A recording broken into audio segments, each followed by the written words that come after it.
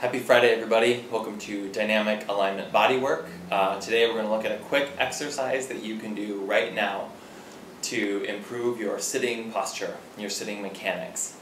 Uh, and it involves digging into your own armpits uh, with your hands and thumbs, so get those ready. Here's, here's what it'll look like. Um, if we sit in a pretty compressed position, um, a lot of times we're sitting in a way where our air isn't traveling um, isn't traveling well through your body. So you can sort of feel that if you sit into a slump, that okay, uh, I'm breathing pretty fully often like right here, but as I get into the upper recesses of my upper ribs, like my first rib is like right here, right? It's, it's way higher than most people think.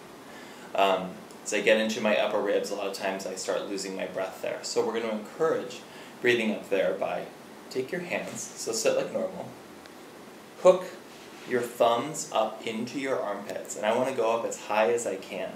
So I'm really digging up in there. There's nerves and veins and arteries, so I'm, I mean digging isn't necessarily a great verb, right? But I'm pushing up, I can get out of the way of that, and I really want to get up in there. So right now, the very points of my thumbs are what my emphasis is on.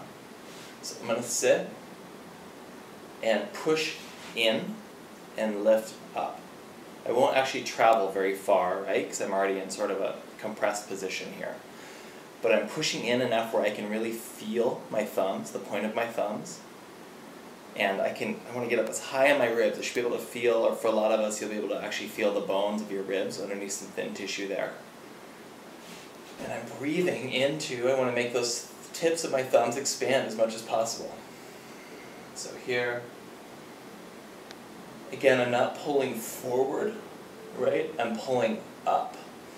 So here, breathing right into the tips of my thumbs, where again, I'm pushing in enough where I can really feel it. So do this for, if you've been doing it this whole time, we're getting to be a good point, maybe a full minute of this, or less.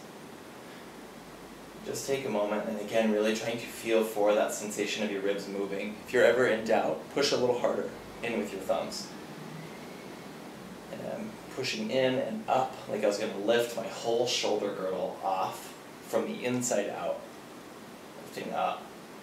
This gets my arm into a nice position. The shoulder joint, not necessarily where I'd want to hang out, but again, um, as a nice like reset for this whole area.